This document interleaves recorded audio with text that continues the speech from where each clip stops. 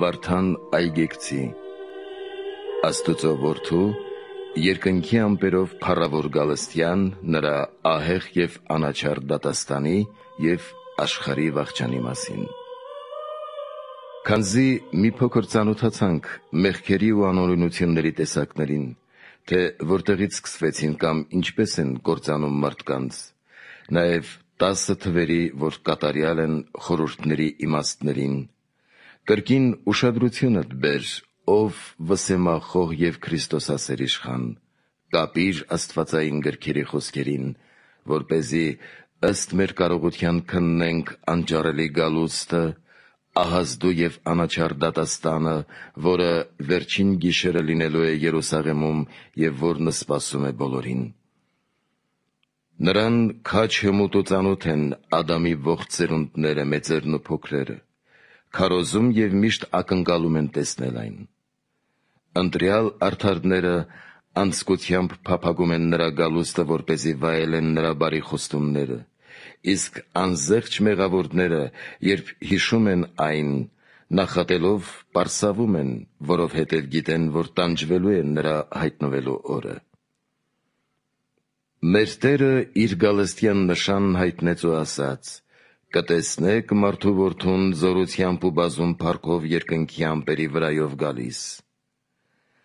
Աստծո կույսից հինգ հարյուր տարի առաջ մեծն Դանիելը Բաբելոնում տեսավ նրա վերջին ահեղ գալուստը և ասաց. «Տեսնում էի, և ահա դրվեցին աթոռներ և բազմեց հինավուրցը»: Նաև տեսա. Ահա գալիս էր երկնքի ամպերի վրա, ինչպես մարդու որդին, և հարություն առան մեռելները երկրի հողից: Տեսնո՞ւմ ես ստույգ մարգարեությունը, թե ինչ զարմանալի է, որովհետև նույն մարմնով, որը Քրիստոսն առավ սուրբ կույսից, չարչարվեց և մեռավ, հարություն առավ և համբարձվեց, նրանով էլ գալու է երկնքի ամպերով, հայրական անճարելի փառքով և անմարմինների անթիվ զորքերով, որ նույնիսկ երկինքը թափուր կմնա անբավելի լուսեղեն դասերից: Եվ կգա ամպերով, որովհետև Աստուծո սովորությունն է ամեն տեղ երևալ ամպով: Նայի՛ր երկրավոր ամպին, որ գոյանում է օդից, երևում է Աստծո հրամանով և դարձյալ ծածկվում: Հույժ ցանկալի է այն գարնանը, երբ բարձրանում է լեռներից վեր, երբեմն էլ ուժգին փայլում ճառագայթակերպ Արեգակի լույսից, երբ դեզ-դեզ կուտակվում են իրար վրա և հեռաստանից երևում բլուր-բլուր, մեկը մյուսի վրա գալով խտանում և թանձրախիտ ծառացած երևում իբրև բամբակների կույտեր ավելի սպիտակագույն, քան ձյունը, որը խտղտում է իրենց նայող մարդկանց միտքն ու աչքը: Արդ եթե այս առարկայական ամպն այսպես հույժ ցանկալի է ու զարմանալի, ապա տես, թե այն, որ աստվածային ամպ է և Աստծո լույսով է պայծառացած, յոթնապատիկ զարդարված հրաշակերպ ջահավոր լույսով, ինչպես Արեգակ Աստուծո բոցեղեն զորքերի մեջ, որքա՜ն ցանկալի և անճարելի է նրա խորհուրդը հողեղեններին: Դրա համար Աստված ամպի մեջ երևաց Մովսեսին և ամպի մեջ խոսեց Հոբի հետ, և այն լուսավոր և զարմանալի ամպն էր, որ ցույց տվեց Թաբոր լեռան վրա: Նույն ամպով համբարձվեց և նրանով էլ գալու է երկնքով: Եվ ի պատիվ արդարների, գերազանց լույսով լցված նույն ամպը կտա նրանց վերջին օրը, որի վրա կբազմեն ընտրյալ արդարներն ու կբարձրանան հանդիպելու Քրիստոսին ըստ առաքելական խոսքի: Այդ նույն ամպի մեջ անպատմելի և զարմանալի փառքով բազմած կերևա Տերը: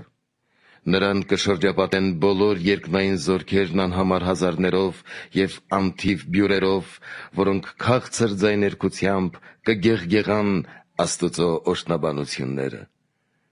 Եվ կդղրդան աշխարհի հիմքերը նրանց ահագին գոչյունների ձայնից ըստ այնմ, կլսվեն հրեշտակապետների ձայները: Եվ արդ, ի՞նչ միտք կարող է բովանդակել, և կամ ո՞ր լեզուն կարող է ճառել Աստծո որդու անհաս, ահեղահրաշ, սոսկալի ու սարսափելի գալստյան մասին: Քանզի մարդ սոսկում եւ զարմանում է, երբ թակավոր է գալիս մեծ ու հոյակապ քաղաք։ Նախապես զարդարում են քաղաքի արտաքինն ու փողոցները, իսկ հետո մարդկանց բազմությունը դուրս է գալիս դիմավորելու թակավորին, շարքեր կազմած, զանազան երգերով, փողերի, սրինգների եւ այլ գործիքների ձայներով, նաեւ մարդկանց գոչման աղաղակներով։ Խնջույք, ճայթյուններ, բազում դղրդոցներ եւ թակավորի թիկնապահ զորքերի որոտող ձայներ։ Եվ այդ պահին արեգակի ճառագայթները պայծառ աստղերի պես երբ նրանք փայլեցնում են սաղավարտները, զրահները, երկրային սրերն ու նիզակի տեգերը, ոսկեզոծ ու արծաթազոծ պատմոճանները։ Եվ այնքան ազդու է լինում հրաշալիքը, որ վախկոտ ու հիմար հռամիկները թմրում են հիացմունքից, իսկ երեխաները դողում ու խիստ սարսափում են։ Արդ, եթե սուտն ու ոչինչը, աշխարհի փառքն ու մեծությունը, որ այսօր կա, իսկ վաղը չի երևալու, որը նման է սարդոստայնի, աղբի մեջ եռացող որդերի կամ քնի մեջ տեսած երազի, այսքան զարմանալի է թվում տեսնողներին, ապա տես եւ հասկացիր, թե ինչ կլինի, երբ հույժ պայծառակերպ Երևան երկնավոր եւ անմահ թագավորությունը եւ Քրիստոս թագավորը նստած լուսազարդ ու աստվածատեսակ ամպերի վրա։ Նրա երեսի լույսից կհալվեն երկինքն ու երկիրը, ինչպես մոմը կրակի առաջ։ Արեգակից պայծառ անթիվ լուսեղեն զորքեր կլինեն նրա շուրջը իսկ Հայրն ու Հոգին անսպառ եւ անսահման փառքով նրա հետ բազմած կլինեն այն անձեռակերտ աթոռին, որոնց փառքի սաստկությունից կսարսեն երկնային զորքերը, կսոսկան ու կթաքնվեն սերով բեները, որովհետև չէին տեսել Աստծո փառքը։ Բայց սրանից է նրանց գոյությունը։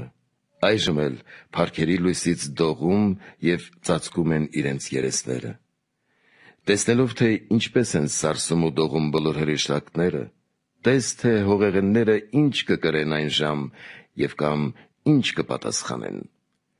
Եվ ապա լույսի հրաբորբոք եւ ճարագայթացև փայլից ու ահրելի որոտից կդողան լեռներն ու բլուրները եւ կհալվեն ու կհավասարվեն դաշտերին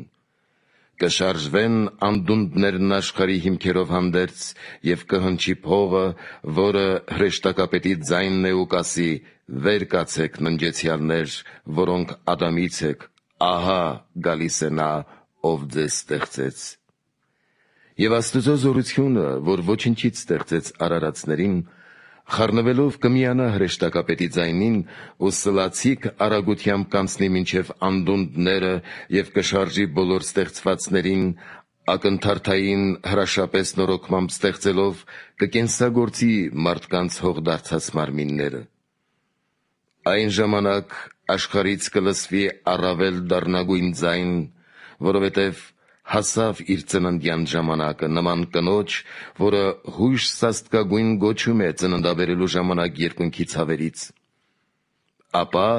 Աստծո ակնթարթային հրամանով երկիրը կծնի Ադամի որդիներին եւ մարդկային ցեղը կհառնի հողից ինչպես ծաղիկները գարնանը զանազան գույներով յուրաքանչյուրն իր արմատների վրա։ Նմանապես էլ ամեն մարդ կդառնա ըստ իր արած գործերի եւ հրեղեն ծովը երկնքից, անդունդներից եւ ամեն կողմից հանկարծակի կծածկի բոլոր արարածներին ջրհեղեղի չափով, որը եղավ Նոյի ժամանակներում, եւ հրեղեն ծովի մեջ կծածկվեն թե արդարները, թե մեղավորները։ Եվ եթե արդարները փոքր-ինչ պակասություն ունենան, այն էլ հուրը կմաքրի ըստ Տիրոջ հրամանի, որ ասում է. ամեն բան կրակով պիտի աղվի։ Իսկ արդարները ջրեղեն ծովի լույսն ու թեթևությունն առնելով կբարձրանան լուսեղեն խմբերով Քրիստոսին հանդիպելու ըստ առաքելական խոսքի։ Եվ հրեշտակները կընտրեն արդարներին եւ նրանց պատվով կբարձրացնեն ըստ Տիրոջ հրամանի, կհավաքվեն նրա ընտրյալները։ Եվ այն ժամանակ Այնտեղ չի երևա ոչ հպարտ թագավորը, ոչ բարձրամիտ իշխանը,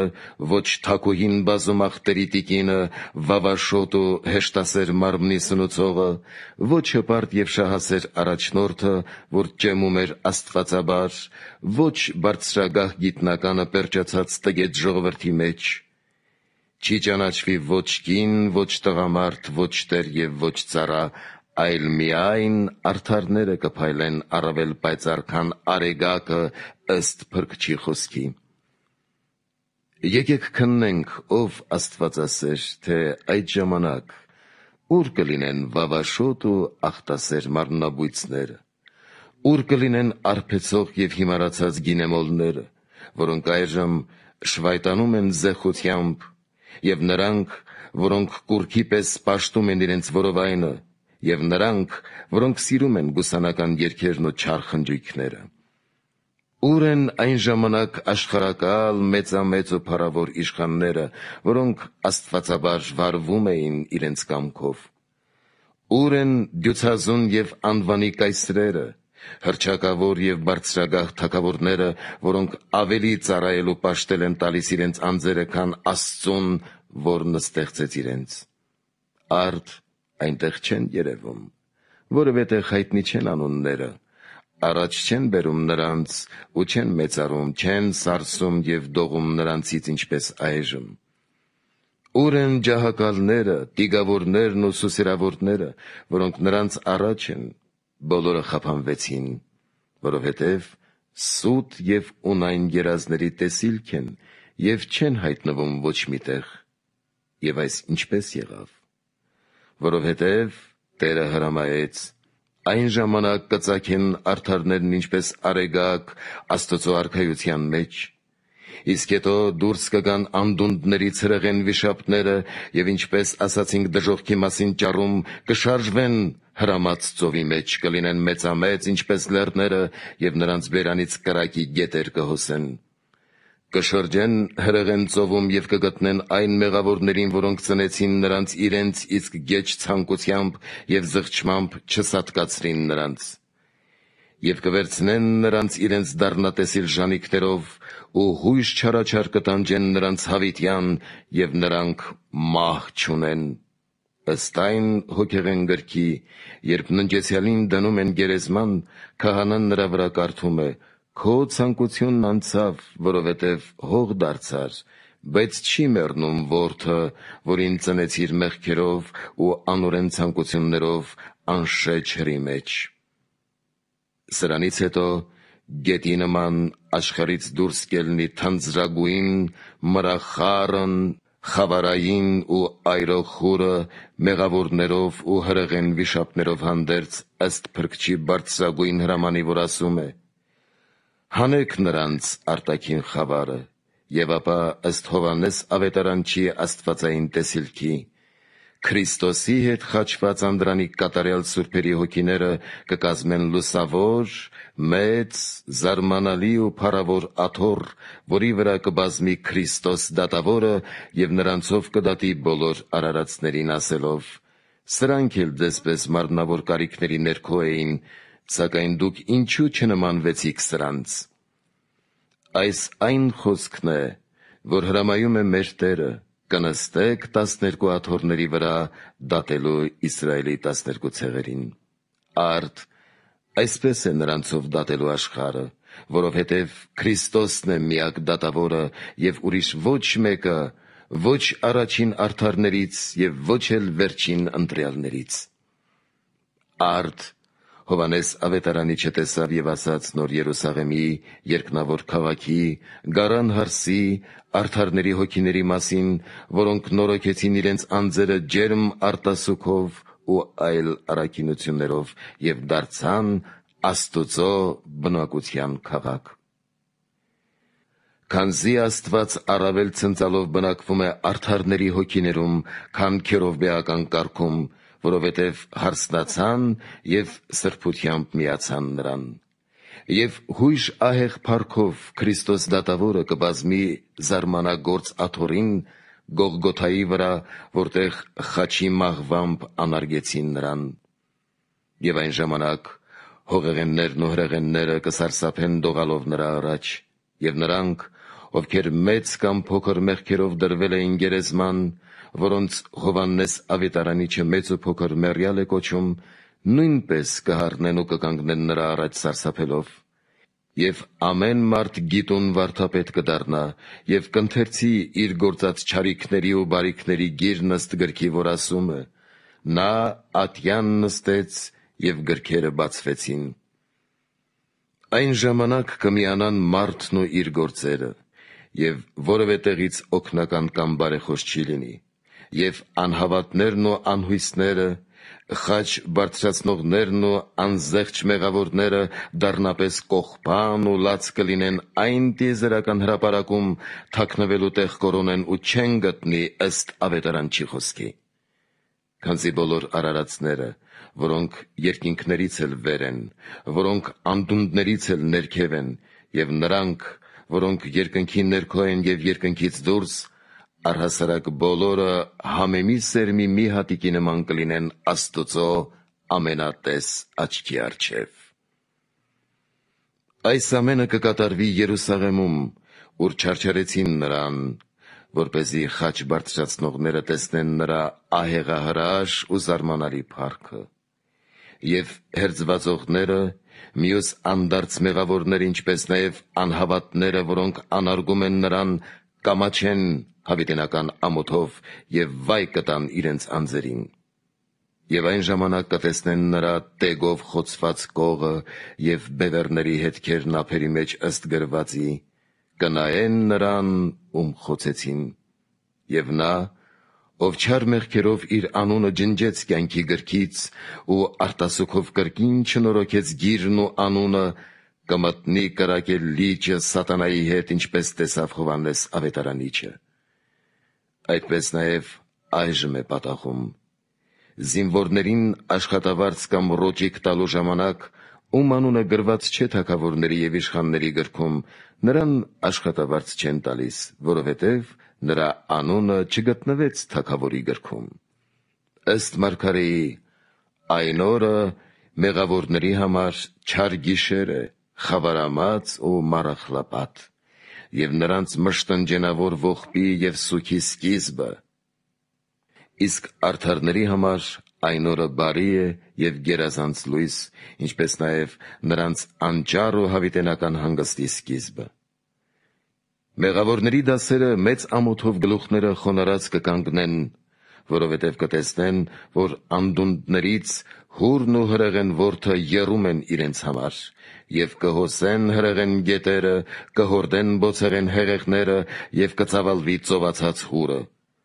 Հույժ զարհուրելի ճայթյուններ ու դղրդյուններ,